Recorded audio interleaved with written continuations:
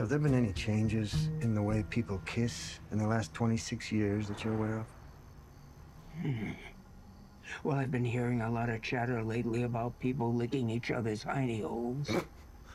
Would you consider that kissing? I wouldn't. Hmm, me neither. So no.